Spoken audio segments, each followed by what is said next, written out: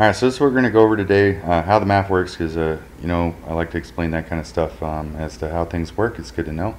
Uh, next, it'll be the tune setup, then the scanner setup, uh, of course, tuning the table, and then uh, notes on scaling. Now, we're just going to talk a little bit about it because it's so specific to different tunes.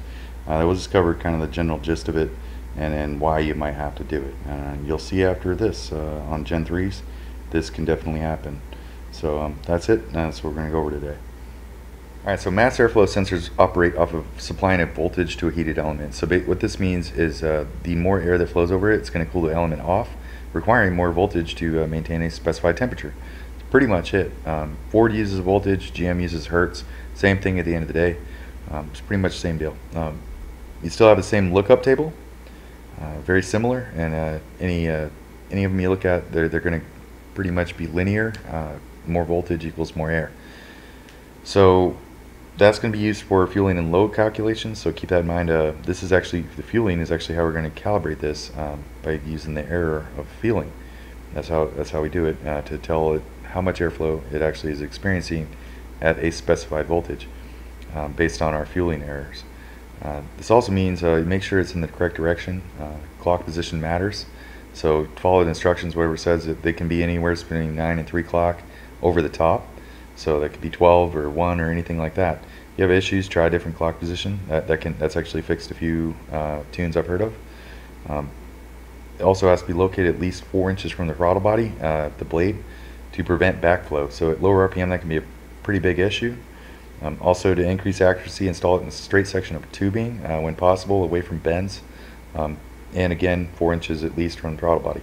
Uh, screen must be clean and free of debris. Pretty clear uh, as to why that is. Uh, but pretty much it. So just make sure all this is uh, is the case, and uh, we'll move right into the setup uh, here in a sec. All right, so for everything to work best, um, we're going to go ahead and tune the VE first. Uh, so we're going to put the link in the description below on how to do that uh, because I'm just not going to cover it in this video. Um, then uh, we're going to go ahead and establish a MAF baseline and speed density just to get us close um, by plotting uh, dynamic air on MAF frequencies while you're doing the VE or at the end of this uh, this um, process here. I'll put the link for that video as well in the description. Um, then we're going to go ahead and uh, start into actually tuning the MAF. So we'll re-enable the MAF, uh, it 13.5, reset the DTCs, uh, set dynamic airflow and high RPM disabled to 1, and then we'll verify that uh, all the following are still in fact turned off from our VE tune, which all of these should be disabled and or set accordingly. Um, and that's it. So uh, we'll, then we'll get right into how to tune the MAF. Very simple. It's actually much easier than the VE. Alright, so first thing we need to do to tune the MAF is make sure the MAF is on. Uh, so we're coming out of speed density now, so we're going to go ahead and go to engine diagnostics. Um, we're going to go to airflow, and we're going to go to MAF fail freak, and we're going to set that to 13,500 hertz not kilohertz, just 13,500 hertz. So if you go kilohertz, then it's 13.5. Um, but either one's the same thing. Uh, so make in hertz is 13,500. We come over to DTCs, click on this. Uh, we're going to go to mill on second air, set it back to the stock setting. We'll re-enable the light. We'll close that out. Next, we're going to go ahead and make sure we are MAF only. So we will go to Engine, General, Airflow. Uh, we're going to go to the Dynamic tab here and then we're going to go down to high RPM disable for dynamic airflow, which is basically basically disabling the VE table by uh, setting this number down to an impossible one like 1 uh, or something like that. Um, so we'll just set it down to 1 and now um, it will use the MAF for all uh, the airflow calculations. So it's kind of what we want it to do. So we'll leave it like that. Now we'll go ahead and uh, close this out and now we should uh, go ahead and verify all our adders are still off. So we'll go to engine, we'll come over to fuel, um, we'll go to oxygen sensors, we'll, and we'll make sure closed loop is still in, uh, disabled, make sure our LTFTs are disabled, we'll make sure our EQ ratio is set to 1 in the operating temp. Um, we are going to make sure that short term this is still disabled here. Um, we'll go to temperature control, make sure that's disabled, it still is, uh, cut off, and that should also still be disabled. Um, again, all this coming out of a uh, VE tune. Uh, all this should still be off. So we're just going to leave it that way, and uh, all we're going to do uh, basically is re-enable the MAF and set the uh, high RPM disabled down to 1. uh, for dynamic airflow. And that's it. So now we'll move into how to do how to set up the scanner and get on to tuning it here in a sec. Okay, so here's our scanner setup uh, required channels versus our what I'd call recommended. Uh, so you got our MAF frequency and wideband input at a minimum. We have to log these two. All right, so I have a, a, a default list pulled up here, but note that um, it's actually my scanner's being a little weird. There's a lot of stuff on here that actually is not uh, default for a 2002 Camaro, but whatever your list pulls up when you're plugged into the car is what you can use. Um, and then you're going to go ahead and add the following. So we're going to go ahead and make sure we have our mass airflow frequency. Throw that in there, the sensor, and as well as our wideband input. So we're going to want that. Um, go ahead and select uh, PVI Pro or 2 is applicable. Um, select the input as applicable, uh, whichever one you're using, and uh, then we go ahead and transform that to our air fuel ratio. Select your wideband. I'll open this up. There we go. Now we uh, and and again, you should already kind of know how to do this if you're at this point. Um, of course, you should also be logging uh, your dynamic and all the other stuff that we normally would. So we add all this in just to, to recap. And we have that. We have our flow rate. We have our, uh, we're going to go ahead and have our pulse width, uh, both banks. And we go ahead, and then we're going to go ahead and add in our uh, cylinder and mass. And that should pretty much be a, a minimum list of uh, things that we should just go ahead and throw in. All right, so next we uh, go ahead and build a table to, uh, to actually tune our mass. So we're going to go ahead and open up the graphs layout. Going to go and add a table. Um, for this one, we're going to go ahead and select a parameter. And we're going to go down to mass. On the bottom, uh, we'll go to lambda and AFR, just like we do on our VE, uh, pretty much identical. Um, we'll go AFR error or lambda, whichever you're using. Select that. Um, we'll have it in percent. We'll go ahead and select two decimals for this. We can leave the filter out, no required, uh, nothing required there. Cell hits, uh, we're going to go ahead and add in, uh, make that 50. High value, we'll make that 20. And we'll select that red for uh, lean. And we'll go negative 20 for rich. And I'll go ahead and make that green. And uh, for the column axis, we know we need the MAF frequency. So go ahead and select that. Uh, I got mass airflow frequency here. So select that. We'll go ahead and use the generic, which is fine. Um, and now we need the values, so we go over to the tune. Uh, we open up engine, go over to airflow, come back to general, and under MAF calibration, we open up airflow versus frequency, and we're going to see uh, mass airflow frequency in hertz. Uh, we're going to right click the top uh, over here, and we're going to hit uh, column axis, copy labels, back to the scanner, and we'll paste those in here. And make sure that it's in hertz as well, uh, which it is. And uh, so we're good to go now. Uh, we have our uh, AFR error, which will be plotted along these uh, these values of the hertz on a linear axis. Uh, we only need the one axis because the MAF table is only one axis. Makes it significantly easier than the uh, the VE, as I was saying. So um, I'm going to go ahead and see what that looks like in a log here in a sec. Alright, so to apply the changes, the numbers we just got on our map, we're going to go ahead and select the first number we got, so it's 2625, we're going to select here and uh, you can either drag over or drag the mouse uh, whichever way you want to do it. Just come on all, all the way over here. See uh, where it stops. We got corrections all the way up to 93.75 um, and we'll go ahead and hit the shift key and just click. And uh, now we have all these uh, selected all the way back. And uh, we'll hit, go ahead and copy it. Now we're going to bring this over to the tune. We'll open up our MAF table and as 2625 was uh, where the correction started so we'll right click uh, we'll right click here. We'll hit paste special and in, in this case we're just going to go ahead and multiply by percent half. Found this does work a little bit better um, in some cases uh, depends on how far it's off. Um, but we will get it in there like that um, and uh, that should put us pretty close. So there's our correction applied and it, uh, if you notice on the bottom we see that our line is fairly uh, it's fairly smooth, so we don't really have to do a lot of smoothing here on this one, in this case. But if it's not, um, if you have some like erratic areas, like so, you're going to want to smooth them out. So if it looks something like this on your line on the bottom, and if you don't have that line, it's really easy to get. You just click on the uh, horizontal split, just like so, it'll bring it up. Um, you go to that spot in the tune here, uh, and on the uh, table, um, we're going to select this 8250 So we'll go over to about 7700 here.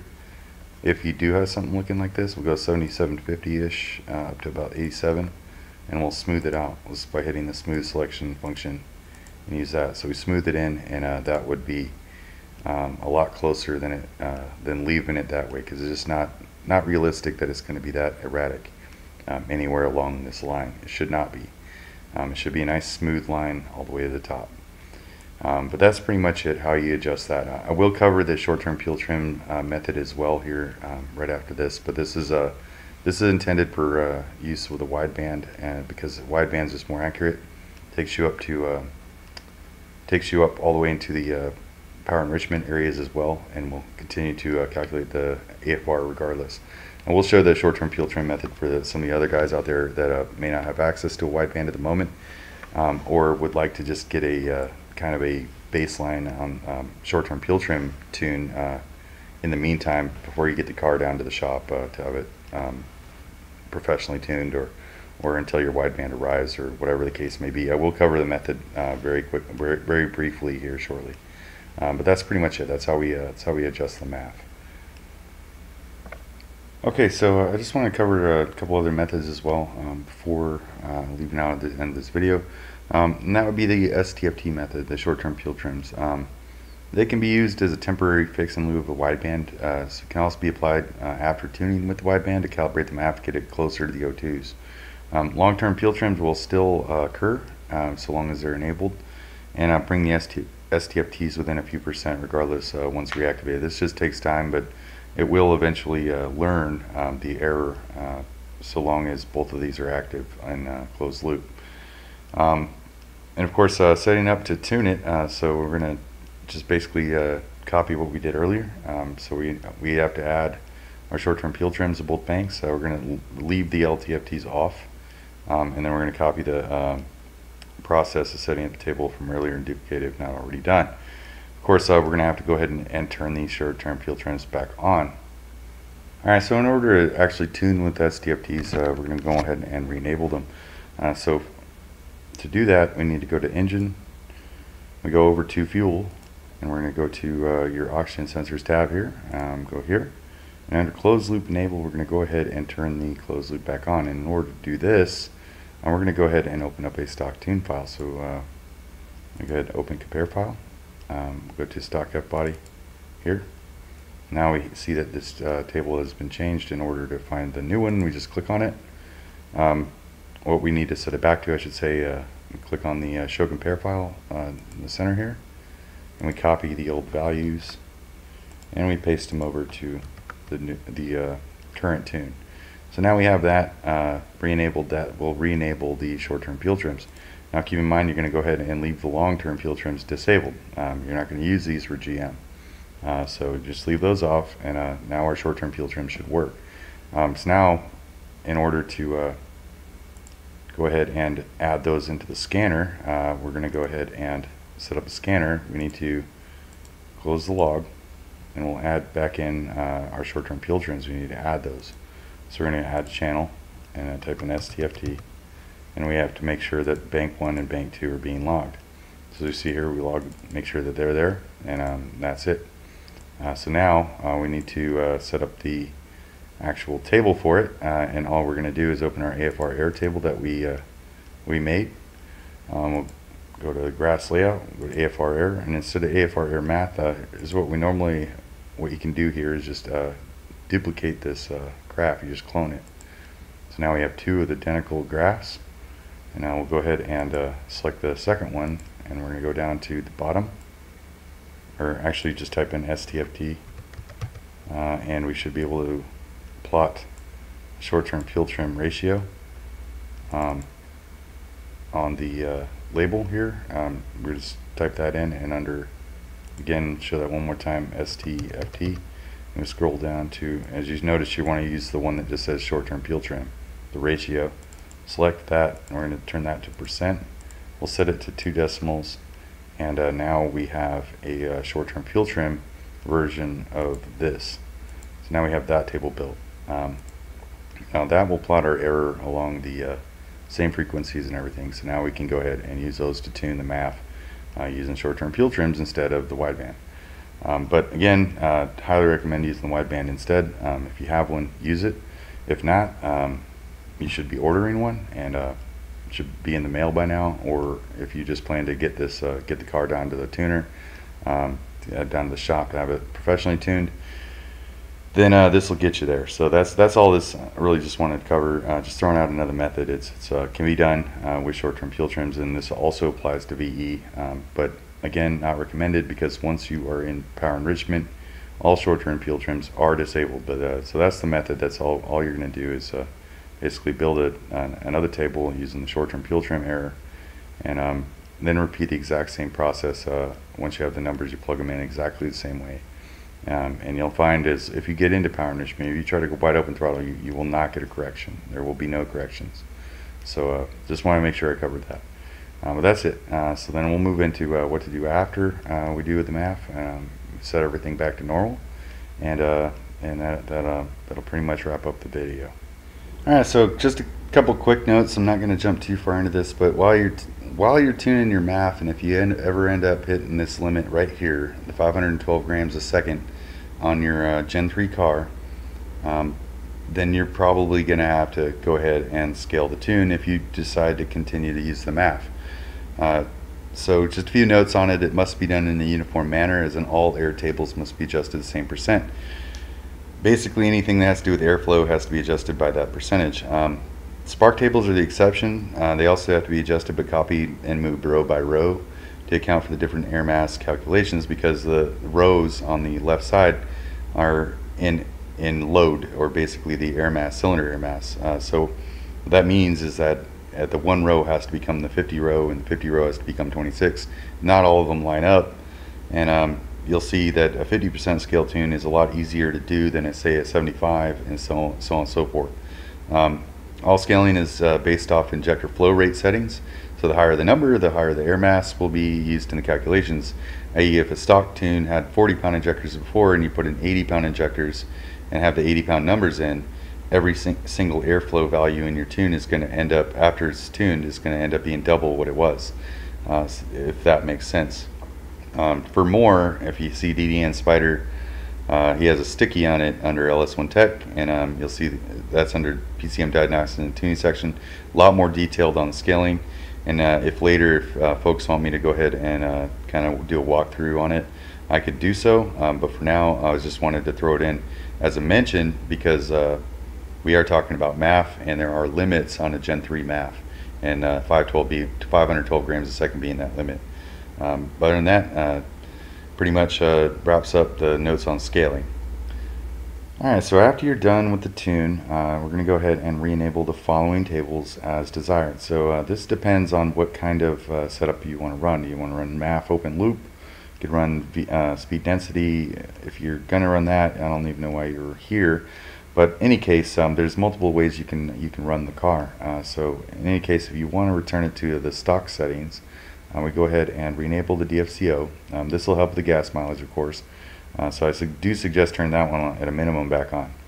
Um, the short-term fuel trims, uh, that's going to be closed loop. Uh, you want to turn that back on if you're uh, you intend to run closed loop, and you want those to operate. Um, get your long-term fuel trims. Uh, if you're going to have F STFTs on, I recommend putting those on as well, so it can have some learning. Um, CAT over temp if you have them course, uh, set the open loop EQ ratio back to the stock settings as to increase the safety factor a little bit. So as it gets hotter, it'll add a little more fuel, and it'll help you uh, with your cold starts a little more um, to help it warm up. Uh, of course, the uh, set dynamic airflow disable back to 4,000 RPM if you intended to use the blended uh, VE and MAF system. Um, if you intend to stick with just MAF only, then leave this alone. Leave it at 1 or low, uh, so it will disable the VE. Um, or if you intend to use uh, speed density, then you can leave the MAF disabled and not have, you shouldn't even watch this video. Uh, but I digress. Um, so anyway, uh, after all this is done as you, as you desire, um, then go ahead and move on to uh, tuning the spark. Um, but if you want to turn everything back, back on, um, then this is the list. Uh, that's pretty much it. If you got questions, leave them below or hit me up on LS1 Tech and I'm more than happy to help you out. And uh, till then, I'll see you out there.